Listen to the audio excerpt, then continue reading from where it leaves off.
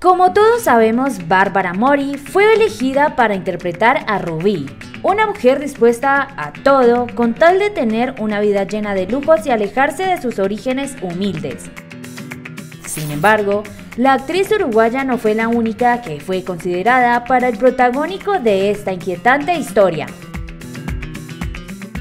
Y es que aunque sabemos que resulta complicado imaginar a Rubí siendo interpretada por otra actriz que no sea Bárbara, varias actrices presentaron el casting y fueron consideradas para el papel.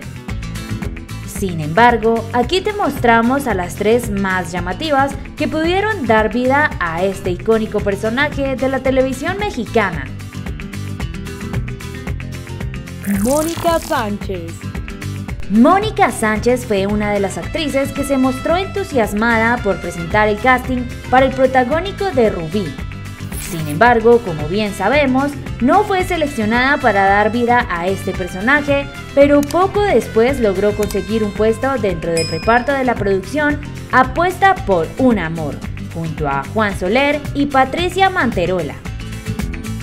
Marlene Favela aunque la actriz sí participó en Rubí al dar vida a Sonia, su propósito en realidad era quedarse con el papel protagónico. De hecho, José Alberto Castro, el productor de la telenovela, comentó en entrevista que Marlene sí estuvo dentro de las consideradas para el papel antes de elegir a Bárbara. Anaí Puente la eterna Mia Colucci también se interesó en dar vida a este frío personaje. La actriz, quien para ese entonces tenía apenas 19 años, presentó el casting para la telenovela, pero para fortuna de toda una generación de rebeldes, no quedó seleccionada.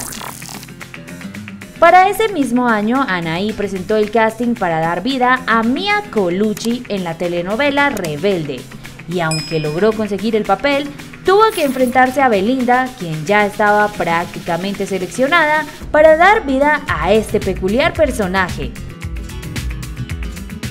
Aunque estas actrices tenían el potencial para dar vida a Rubí, el productor de la producción reveló en entrevista que fue la sensualidad que Bárbara Mori depositó en el personaje lo que lo ayudó a tomar la decisión definitiva de darle el protagónico. ¿Cuál es tu frase favorita de Rubí?